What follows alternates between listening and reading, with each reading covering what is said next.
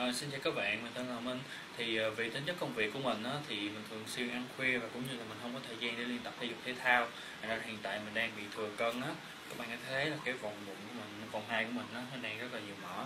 Thì à, được một người bạn giới thiệu sản phẩm S Body Slim của nấm. Thì à, cái liệu trình này mình bắt đầu sử dụng cái liệu trình đó là 15 ngày và mình được tặng thêm 5 gói detox. À, và bây giờ thì mình sẽ thực hiện mình ghi lại số đo vòng 2 cũng như là cân nặng của mình để À, xin chào các bạn, bây giờ mình đã trở lại sau 15 ngày sử dụng sản phẩm S Body Slim của nấm. Và bây giờ thì mình sẽ đo lại cái số đo vòng 2 của mình.